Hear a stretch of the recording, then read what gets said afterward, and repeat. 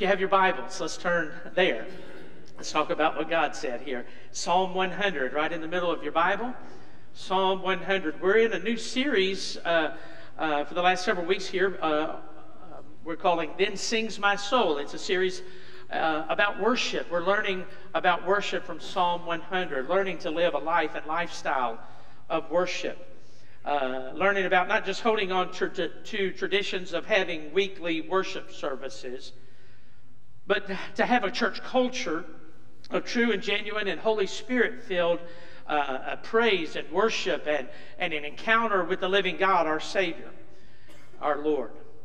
We're learning uh, that the true worship of God results in, in the change of our life, that genuine worship conforms us to the image of the Lord Jesus.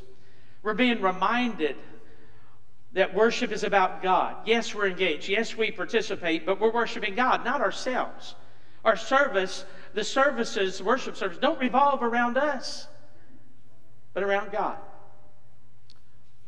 God's calling us back to that for which He created us to worship Him and enjoy Him forever. So, we looked a few weeks ago at worship. Uh, in, part one, our highest occupation is the worship of God.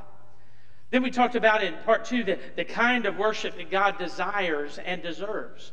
Last week we talked about worship service or worship serve us. The, that the true worship of God leads to service for God. And that our service for God is an act of worship to God. Our work for the Lord can become worship to the Lord. Now, today in part four, I want to speak from the Word of God about the kind of music that God likes the kind of singing that God likes. In Psalm 100, we're, we're called to shout gleefully and to serve gladly and to sing gloriously to our God. And so we want to talk about the kind of music that God likes. Now, when we talk about music in the church, about what we sing in worship services, it's gotten, in a whole lot of churches, it's gotten all messed up, right?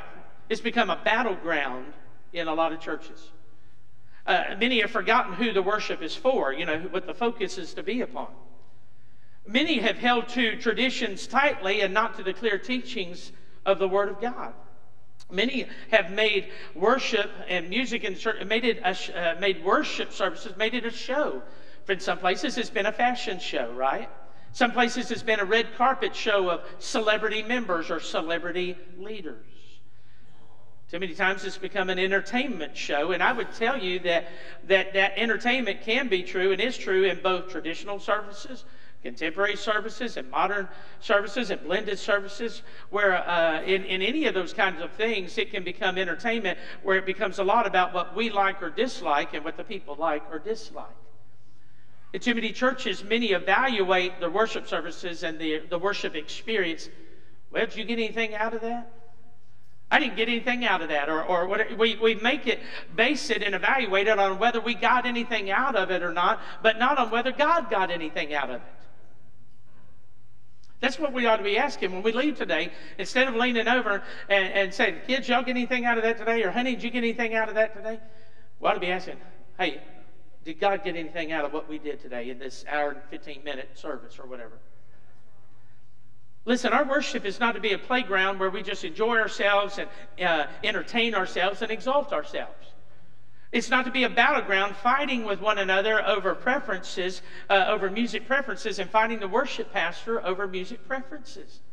Worship is not to be a playground or a battleground, it's holy ground where we meet with God with humble hearts and grateful hearts. We stand in awe of God and we give Him the glory that is due to His name. We exalt the Lord in our praise and our adoration. We express our love and our devotion and our surrender to Him. And it's where we hear God and we respond in faith and trust, in, in love and surrender and obedience to Him. And our lives are not the same because of it. So I want us to look in the Word of God, uh, into the Bible, and look, uh, learn about music in the church, about singing in the worship of God. And I really believe that if we learn what God has to teach us and believe that and trust that and embrace that and live that, I believe that instead of worship wars in the church, we could have some revival in the church. Amen? A, a, revival of God centered worship, a revival of joy and unity and enthusiasm and holiness and godliness and usefulness. Now, your Bible and my Bible here, it, it has a lot to say about music and about singing. The scriptures resound with singing. In fact, there are over 50 commands in your Bible and mine that we have with us today. We have over 50 commands that tell us to sing. They aren't suggestions, Brother Warren, they're not recommendations, are they? 50 commands that tell us to sing. And singing is mentioned over 400 times in the Bible. The Bible has a lot to say about music and singing. And you know, in fact, the Bible tells us God sings. Yeah, Zephaniah 3:17, the Lord your God is in your midst. He is mighty to save, and he will exult, exult over you with joy. He will renew you in his love, and he will rejoice over you with singing. Singing honors and blesses and worships God. Psalm 22, 3, God is enthroned or he inhabits the praises of his people. Uh, we're to come before him with joyful singing here in this psalm. We're to enter his gates with thanksgiving, into his courts with praise, give thanks to his name, and, and, and bless his name. Joy, uh, singing honors, blesses, and worships God. It expresses our joy and our gratitude and our love to God. I, I love Psalm uh, 92. I, it's good to give thanks to the Lord and sing praises to your name, to declare your loving kindness in the morning, your faithfulness by night. For you have made me glad by what you've done. I will sing for joy at the works, uh, uh, works of your hands. Uh, the Bible tells us that singing teaches us, it reminds us, it says in the New Testament. Uh, it's a witness to others. Uh, Psalm 40, he said, uh, God put a new song in my heart, uh, a song of praise to our God. Many will see it in fear and will trust in the Lord. Singing is, uh, does so much for the Christian and uh, in our worship and relationship with God and our witness to others. Now, when it comes to music in worship services, you know, it's so often we're so concerned about the music that we like and that we like to sing. And can I just go ahead and put you all at rest and, and, and at ease? It's okay to like what you like. Y'all feel better? Okay? Preacher got up there and told me I can't like that. No, I didn't. Okay? It's okay to like what you like. Okay? But remember, worship is more about God than it is about you, or about me, or about anybody else. Right? Now, most people focus about the, on the music and songs that they themselves like and love, but remember, worship is to God. He's the focus. He's the object of our worship. We are singing, and when we sing, we are singing to God. Francis Chan is a, uh, was, uh, used to pastor a church, uh, I think it was in California. A person came up to Pastor Chan after the worship service and saying, well, I didn't like the music that we did. Uh, I didn't like the music that we did today. Pastor said, That's okay. We weren't worshiping you. Now, listen, it's okay to like what you like, but we need to remember that first and foremost, worship uh, uh, uh, uh, and singing and worship is first and foremost about God. It's about what He likes. We're so concerned, so focused, and I would say so insistent about the kind of music we like and that we like to sing and we like to hear, but we ought to be more concerned, we ought to be most eager to know and to sing the kind of music God likes. And so the question is, what kind does He like? Uh, what does He want us to sing? What does he want to hear and listen to? Well, let's read in Psalm 100, and, uh, and then we'll look uh, there and, and through other places in the Word of God. The Word of God says, Shout joyfully to the Lord, or make a joyful noise to the Lord, all the earth. Serve the Lord with gladness. Come before him with joyful singing. Know that the Lord himself is God. It is He who made us and not we ourselves. Some translation says it is He that has made us and, and we are His. We are His people and the sheep of His pasture. Enter His gates with thanksgiving and His courts with praise. Give thanks to Him. Bless His name. For the Lord is good. His loving kindness is everlasting and His faithfulness to all generations. We're going to focus on that, that phrase here today in verse 2 come before him with joyful singing, the kind of music that God likes. Pray with me, would you? Heavenly Father, thank you for the word today. Thank you for your presence here. Thank you for your Holy Spirit. Thank you for what we've already experienced in worship. God, now we open your word. We've read your word. You have spoken. Lord, may we hear what you're saying. May we understand the truth and the message of your word today and that we would, uh, you would reorient us uh, in our worship, in our perspective, our attitude, our, our uh, participation. And Lord, that you be exalted, that it would be like revival uh, here. It would be like uh, holy ground here, not a playground or a battleground. We're on holy ground. Speak to us now, Lord. I pray the words of my mouth, I pray the meditations of my heart be acceptable and pleasing to you. Speak to us now, Lord. Your servants are listening. And we pray in Christ's name. Amen. We've seen that this psalm tells us that we are to shout joyfully, but also to sing joyfully. Come before Him with joyful singing. He says, Come. Uh, don't not come. don't stay away because you don't like the singing or you don't like the songs or you don't like certain instruments uh, or because everything doesn't suit you. He says, Come. We ought to come because God's here. We ought to come because He's good and worthy. We ought to come because you can and should express your love and your worship and your appreciation and your attention and your love and devotion to God.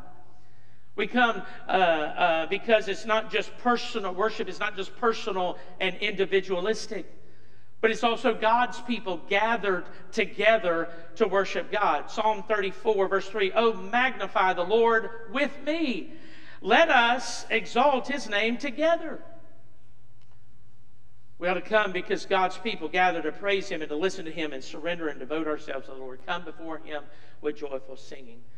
And so when it comes to the worship service, when it comes to the music and singing, what does God like? What does He want? What does He expect from us?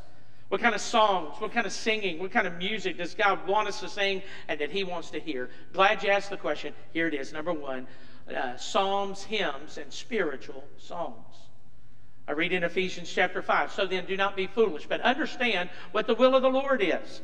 And do not get drunk with wine, for that is dissipation, but be filled with the Holy Spirit, speaking to one another in psalms and hymns and spiritual songs, singing and making melody with your heart to the Lord. Colossians 3 16 and 17. Let the word of Christ richly dwell within you, with all wisdom teaching and admonishing one another with psalms and hymns and spiritual songs, singing with thankfulness in your hearts. Whatever you do in word or do, deed, do all in the name of the Lord Jesus, giving thanks through him to God the Father. So God wants us to sing psalms, hymns, and spiritual songs. Listen, not hymns only, not choruses only, not traditional or contemporary or modern only, but psalms hymns, and spiritual songs. Now, what are psalms? Obviously, it was uh, there's a whole there's 150 of them right there in the middle of your Bible. Those that was the hymn book. That was the song book of Israel. And then, and so we think about that. We uh, scripture songs. When when we sing psalms, we're singing uh, Holy Spirit inspired, perfect, inspired Word of God. We're singing words directly from Scripture. These are these are given and written by the Holy Spirit. Okay? And then there are hymns. We're to sing hymns. A song, it's a song that gives praise, honor, and thanksgiving to God. It may be a song that extols the character and works of God. Hymns often recite a lot of doctrinal truths. They are filled with scriptural truth and sound doctrine. Now, unlike Psalms, hymns are not written by divine inspiration of the Holy Spirit. So they're not considered scripture, although I'll tell you there are a couple places in the New Testament where there are hymns that have been included in the New Testament. But by and large, psalms come from the Holy Spirit. Hymns are people uh, are written by people. Okay, hymns are often songs of doctrine that declare who God is. That have come maybe from a previous generation and it will long endure. We sang one that has long endured. Uh, Amazing grace and how great thou art. I would add that uh, and remind us all that you know that new hymns are being written and sung by the church even today. Uh, God inspires praise in every generation, and God's inspiring believers in this generation. God is teaching His truth to this generation. They're going to write songs about it and hymns about it that'll be sung both now and down the road. You know, CityAlight, uh, Sovereign Grace Music, uh, the Gettys, others are writing new hymns. And then it says we're to sing not only psalms and hymns, but spiritual songs. Those songs offer believers the opportunity to express our personal responses to God. In other words, not just singing about God, but singing to God, right? Singing spiritual songs, singing to God, proclaiming where God has moved in our life and, and, and how He's shown His love and, and, and us expressing our love back to God. Songs about the Christian life. songs that are witness to other believers and also to the lost, declaring what God has done for us and what He can do in them and for them. A spiritual song might praise God directly, it might express the joy of your salvation. It might revel in the grace of God. It might exalt the greatness and power of God. It might share our love and devotion to the Lord. But we're to sing psalms, hymns, and spiritual songs. Some of those songs are about the Lord, and they speak to us and speak to one another, right? We teach and uh, one another in psalms and hymns and spiritual songs, right? Some songs are about the Lord. Some songs are to the Lord. You're talking directly to God. It's almost like a, a prayer. It's, it, it's, a, it's worship. It's telling God, talking to God directly that we love Him and trust Him and, and uh, have been blessed by Him. Some songs are about the Lord. Some are to the Lord. All of our songs are to be for the Lord, for the glory of God.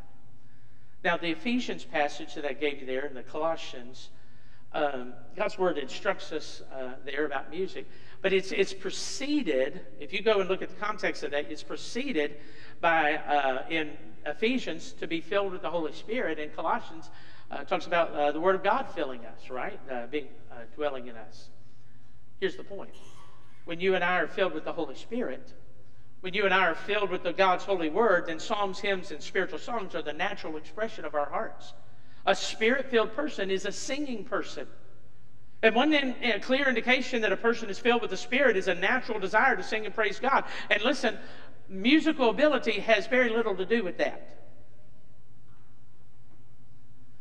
As I've said before, and I'm not pointing anybody out, you might sing like a dying elephant. I mean, that may be your voice, but I'm just saying, it's a uh, when you're singing from the heart and you're singing in praise to God. I'm saying God thinks it's all right. So uh, we're, talking, we're not talking about abilities, we're talking about the heart. God created us to find great spiritual expression through music. Psalm 135, verse 3 Praise the Lord, or Hallelujah in the Hebrew.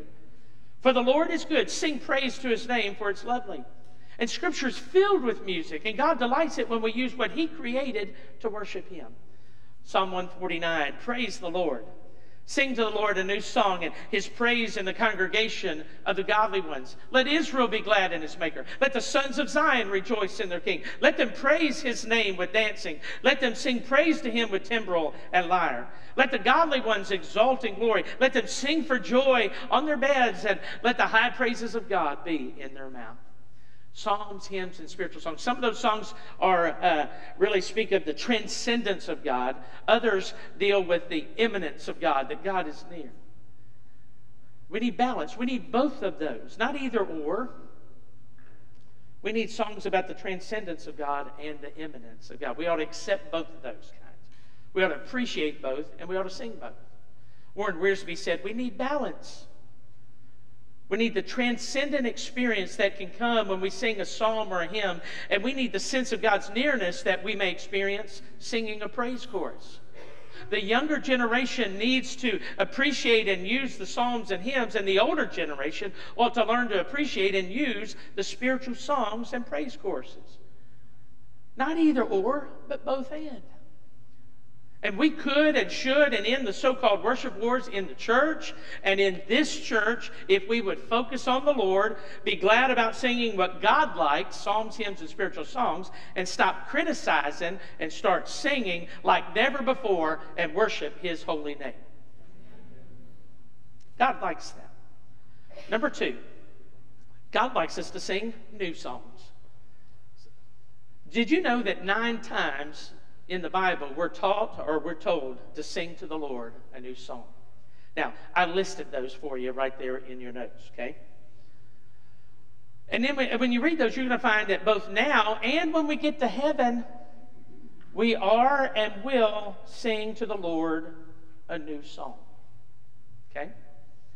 Now, it, the Bible tells us to sing to the Lord a new song. In each of those passages, news means original, fresh, one of a kind, never seen before, or of course in this case, never heard before. We are told by the Lord, we're told by God, we're told in His Word to sing new songs. Why? Because God inspires praise in every generation. Listen, God did not stop inspiring praise and songwriting in 1708, 1808, 1908, or 2008 in every generation. Ever, for over 2,000 years. And actually, you go back into Israel even before that. God was inspiring praise. One guy wrote, he said, I'm not aware of any command in the Bible to sing old songs. It's not disobedient to sing old songs. Y'all okay? All right? It's not disobedient. You're not sinning against God by singing an old song. Okay? But it's not, it's just simply not something God needs to remind us to do. Our inertia is toward humming and singing and selecting the stuff we already know. We already like the songs we like after all, right? What we don't know yet is the new songs. It takes some energy to write them and to learn them. So the scriptures need to remind us again and again to sing a new song. Psalm 40 and verse 3, he put a new song in my mouth, a song of praise to God, uh, to our God. When you look back, you, you understand why he burst out in song uh, from his heart. He said, I waited patiently for the Lord. And he inclined his ear and heard my cry. He brought me up out of the pit of misery, out of the pit of destruction, out of the miry clay. He set my feet upon a rock, making my footsteps firm. And he put a new song in my mouth, a song of praise for our God. Many will see it and fear and will trust the Lord.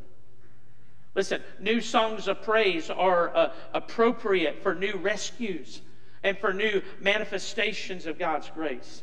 And as long as God is gracious towards us, and as long as He keeps showing us His power, and as long as He keeps uh, wowing us with His works, as long as He keeps answering prayers, it is fitting that we not just sing old songs inspired by His past grace, but that we sing new songs about His ever streaming and never ceasing grace.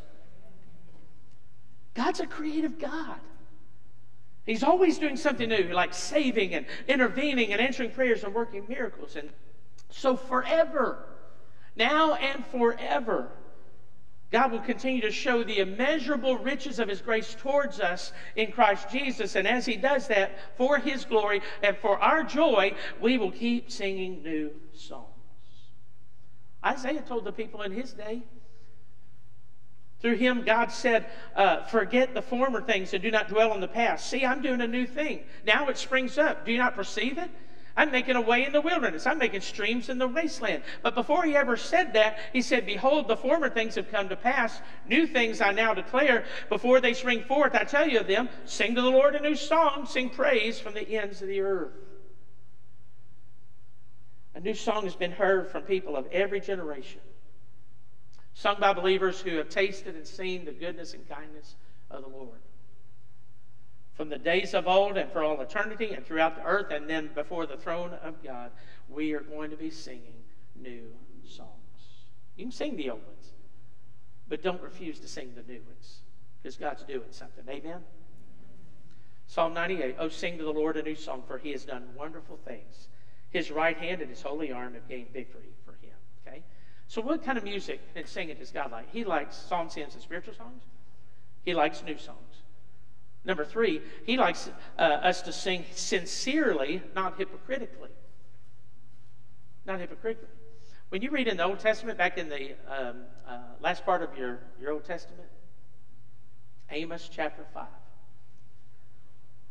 God, God, God made it clear what he thought about a lot of what goes on when we gather. I know God's a God of love and everything, but there's some things that God hates. Is what Amos 5, verse 21. I hate, that I reject your festivals. I don't delight in your solemn assemblies. Even though you offer up to me burnt offerings and your grain offerings, I won't accept them. I will not even look at the peace offerings of your fatlings. Take away from me the noise of your songs. I'm not even going to listen to your instruments, to the sound, to the, sound of your harps. But let justice roll down like waters and righteousness like an ever flowing stream. They weren't living righteously, they weren't uh, into mercy and justice. But they come and they play church. In this case, they play temple or tabernacle or synagogue. You know, they come and play it, pretending.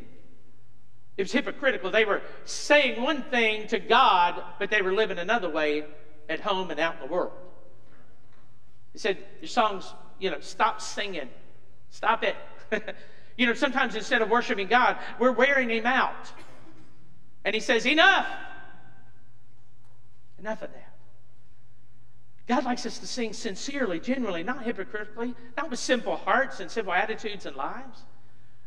Not to sing with a disobedient heart, a rebellious attitude, or to sing flippantly or apathetically, but to sing sincerely.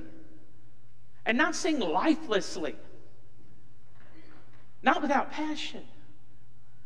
Sometimes, you know, we could just honestly say, you know, well, we were just singing, you know. Just going through the motions or mindlessly mouthing words. Or in we said, we often hold the hymnal or an archic, sing off the screen, and sing songs that we know so well, but our hearts and our minds are a million miles away. So he said, think and think about and rejoice in the words you sing. Not just the routine, okay, we'll, we'll sing three or four songs and then there's preaching and then we'll go and get lunch. You know, just going to go through the motions, go through the routines. No, sing sincerely. Sing, sing sincerely. That's what God likes. Here's number four. So, uh, not only uh, sincerely, but uh, God likes us to sing, number four, from the heart. In the Ephesians passage and the Colossians passage already mentioned, it says singing and making melody with your heart to the Lord. Colossians says singing with thankfulness in your hearts to God. You know, when, when, God has saved you and rescued you, when He's brought you up from the mess that you were in, when He has brought you up and set you on a firm foundation and, and secured your footing, when God has put a new song in your heart, you'll want to sing that song from the heart with your voice to God. Psalm 104, 33, I will sing to the Lord as long as I live, or I will sing praise to my God while I have my being.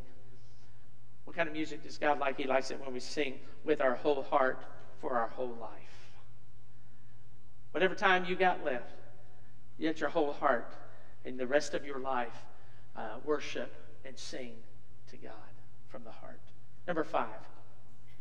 You're afraid I wasn't going to get moving here. Number five. Uh, God likes us to sing with gratitude and thanksgiving. Again, Colossians 3.16, singing with thankfulness in your heart to God. We can sing thankfully because of who God is because uh, for what God has done, what He has done for us and to us and in us and through us. Psalm 28, verse 7. The Lord is my strength and my shield. My heart trusts in Him, and I am helped. Therefore, my heart exults, and with my song I shall thank Him. When we sang those great songs a while ago, did you, were you thanking God with your singing today? Or were you just mouthing words? What was in your heart? Did you sing from a grateful heart? Here's number six. God likes us to sing not only with grateful hearts, but with victorious hearts, with victory and freedom. Singing joyfully, but singing uh, victoriously. And, and what I mean by that is when you look at Psalm 137, they're the they are in exile in Babylon. And their captors, their tormentors, were saying to the, to the Jews, they said, Sing to us one of the songs of Zion. Sing to us one of the old songs from back where you were. And, and here, here's what the psalmist said He said, How can we sing the Lord's song in a foreign land? Or how can we sing the Lord's song in a strange and distant land? What land was that? It was Babylon. It was the land of bondage, the land of captivity. You know why in our churches a lot of people don't sing? Or they it's because they can't sing victoriously. They don't sing joyfully. Why? Because they're in bondage. Many are in bondage. They're not living in victory. They've, they're not, uh, uh, uh they, they've lost the joy. Many of them are captive to sin of all descriptions. It could be, and it could be uh, captive to the sin of fear or worry or love of money or insecurity or addictions of every kind. And so that, you know, somebody's uh, singing victoriously, somebody's giving testimony of what God's done in their life, and, and they're not experiencing it. They're still in captivity. And so there's no joy and no victory to sing. And so either it's just lifeless singing or no singing at all because of captivity. How can we sing God's songs when we're in captivity? Can I ask you this morning, is there anything hindering your singing today? Or, or, or not just today, but, you know, in general. You know, is there something hindering your singing? If so, don't go into a, a depressive tailspin. Go to God. He knows it. He knows you, and He loves you. Somebody glad about that this morning? And if there's sin, confess it. Turn away from that and turn to God. Repent. Surrender the Lord and be filled with the Holy Spirit. And the Bible says, 2 Corinthians 3.17, where the Spirit of the Lord is, there is freedom. There's liberty. You want to be free? I'm not, because sometimes you, people might hear something like this and then they want to try to put on or give the appearance of joy, give the appearance of victory. God's not interested in that, and neither are you. God wants you to have liberty and freedom, victory in your life, joy in your life. Go to God for that stuff. And where the Spirit of the Lord is, there's freedom. Here's the last thing. I really did get there. Okay. Number, number seven. God likes us to sing not only psalms, hymns, and spiritual songs. God likes us to sing new songs and sing sincerely and from the heart and with thanksgiving and gratitude and with victory. God wants us, as we see in Psalm 100, verse 2, God likes us to sing with joy. Okay? That's what the verse says. Come before Him with joyful singing. We have so much to sing for, so much to sing about, so much to sing to someone, the Lord, right? Muslims don't sing songs in their worship. Okay? Buddhists don't sing songs to worship God. Psalm 59, but as for me, I will sing about your power. Each morning I will sing with joy about your unfailing love. For you've been my refuge, a place of safety when I'm in distress. Oh, my strength, to you I sing praises. To, for you, O oh God, are my refuge, the God who shows me unfailing love. Listen, we God likes us to sing joyfully, and, and, and we can because of who He is and what He's done. Do you know joy, the Bible tells us, is one of the fruits or evidences that the Holy Spirit is in us and, and, and at work and unhindered in our life. Joy is a fruit of the Spirit. It, comes from the inside. It's a work of the Holy Spirit. And He produces joy in the heart and life when you and I yield and surrender ourselves to Him. So when, when you let the Holy Spirit fill you and lead you, when you let Him comfort you and encourage you and teach you and guide you and remind you, rather than us grieving the Spirit or, or quenching the Spirit or resisting the Spirit or lying to the Spirit or disobeying the Spirit, but we, we are filled with the Spirit, the Holy Spirit produces joy in your heart and life, and you will naturally sing joyfully in your heart and from your mouth. Let me ask you do, you do you need some help with your singing today? Do you need some help with singing joyfully? Then yield yourself to the Holy Spirit. Let Him empty you of yourself and let Him fill you with Himself and will fill you with joy. Warren, uh, Brother Warren posted. Uh, on Facebook not too long ago. Worship is our response to what Christ has done in us, not what our songs do to us. Worship is our response to what Christ has done in us, not our, what our songs do to us. Psalm 95, Oh come. Let us sing for joy to the Lord. Let us shout joyfully to the rock of our salvation. Let us come before his presence with thanksgiving. Let's shout joyfully to him with psalms. Psalm 96 Sing to the Lord a new song. Sing to the Lord all the earth. Sing to the Lord, bless his name. Proclaim good tidings of his salvation from day to day. Tell of his glory among the nations, his wonderful deeds among all the people. For great is the Lord and greatly to be praised. He is to be feared above all gods, for all the gods of the peoples are idols, but the Lord made the heavens. Splendor and majesty are before him. Strength and beauty are in his testimony, uh, are in his sanctuary, excuse me. The kind of music God likes, the kind of worship that he desires and deserves. Let's never allow our worship to become routine or artificial or hypocritical or self centered.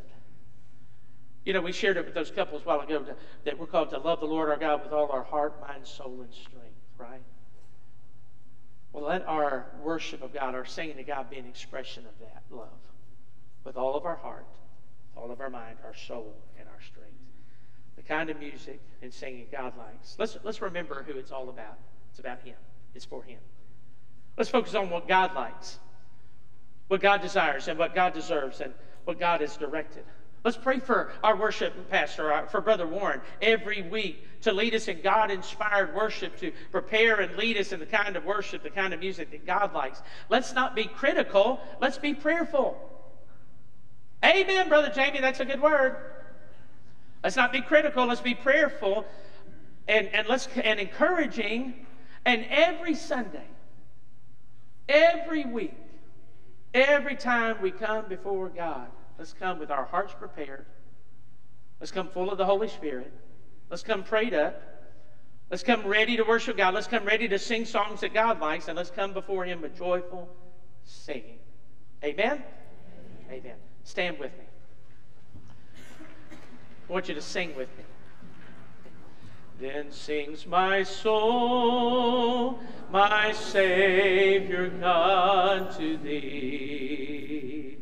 How great thou art, how great thou art. Then sings my soul, my Savior God, to thee. How great thou art,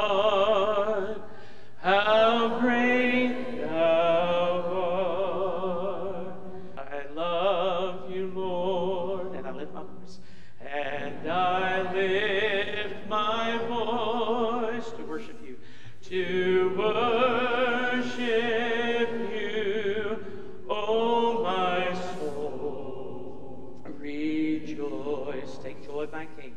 Take joy, my King, in what you hear. In what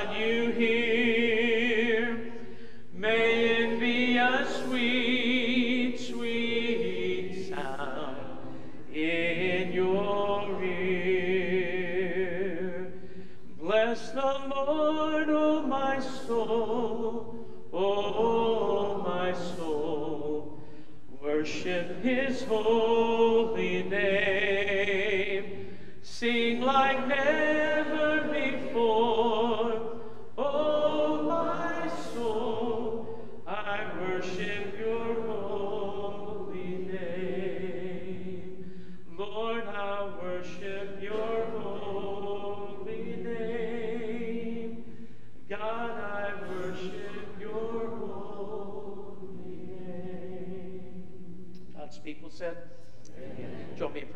Father, in Jesus' name, what a joy it's been to.